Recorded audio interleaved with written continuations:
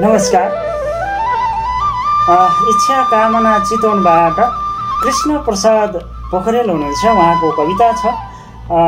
वार्तालापमा कोगर छ मूल्याङ्कन। शीर्षक हो शारदा रिलेटेड छन्द कविता छ हामीसँग। र मलाई वाचनमा साथ दिँदै हुनुहुन्छ आरती विष्ट रहिज्यू नैनिताल। डडेलधरा हाल नैनिताल भारतबाट। सुनौँ उहाँको र मेरो यो आवाजमा संयुक्त आवाजमा यो वाचन कोबर छ मूल्याङ्कन।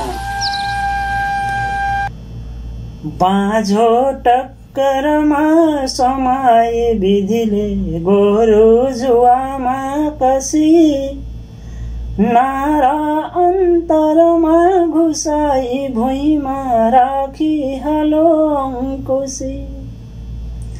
पिट्दा चर चर त्यो भुइँ चिरिदिने गोरुहरूको मन।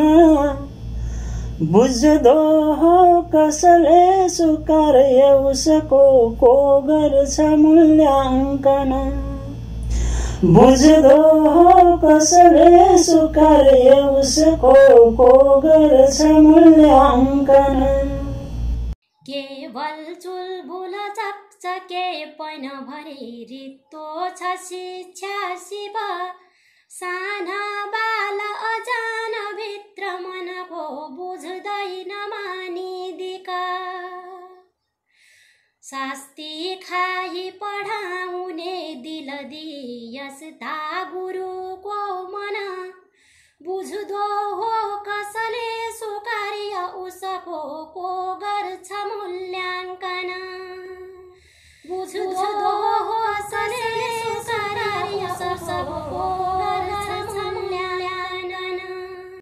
भोको पेट मकै छ मलमल मजा बासना चली आउँछ। जोत्दा भाँची कल्पी कल्पी मुखमा पानी बगी आउँछ। सुङ्दै छाडिदिने प्रयास नपुगी गोरुहरूको मन। बुझ्दो हो कसले सुकारे उसको को गर्छ मूल्याङ्कन। बुझ्दो कसले सुकाए उसको को गर्छ मूल्याङ्कन। सानो जागिरको अभाव बिचमा बढ्छन् महँगी सदा। होला उस्तै सदा सर्वदा। विद्या बुद्धि भरिदिने अपढमा यस्ता गुरुको मन। बुझ्दो हो कसले सुकार्य उसको को गर्छ मूल्याङ्कन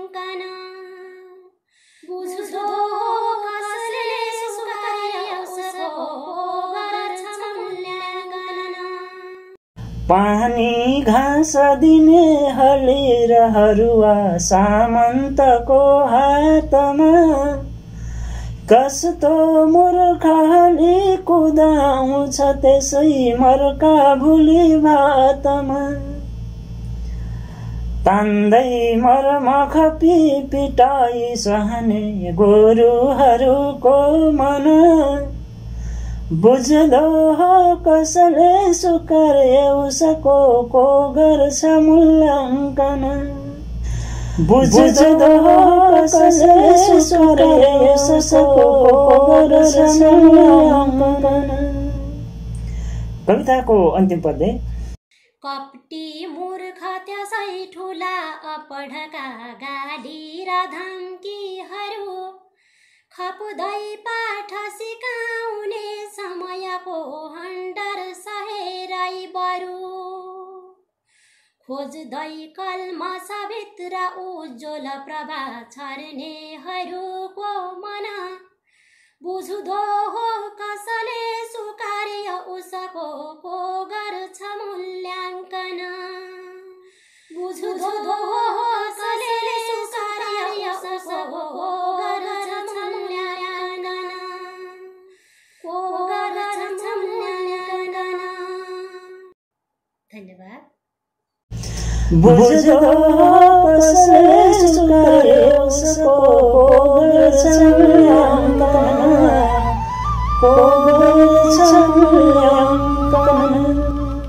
हार्दिक आभार आदरणीय कविवर कृष्ण प्रसाद पोखरेल हुनुहुन्थ्यो। इच्छा कामनातिन चितवनबाट र मलाई भाषणमा साथ दिनुहुन्थ्यो। आरती विष्ट आरजीज्यू शारदा विकृति छन्द रचना थियो। को गर्छ मूल्याङ्कन गोरु र गुरुको अ, पात्रमाथि र यहाँहरूलाई धेरै धेरै धन्यवाद सम्पूर्णलाई र यतिन्जेल भिडियो हेरी सुने र क्रिया प्रतिक्रिया दिनुहुने यहाँहरू सम्पूर्ण सम्पूर्णप्रति पनि सहृदय आभार। कृतज्ञता अर्पण गर्दै म प्रस्तुत बङ्गाली तारा समर्पण तारा विष्ट सन्दार्पण अर्को भिडियो अर्को श्रृङ्खलासम्मलाई आजको बसाइबाट यो भिडियोबाट ओजेल पर्ने अनुमति चाहन्छु। जब जय साहित्य।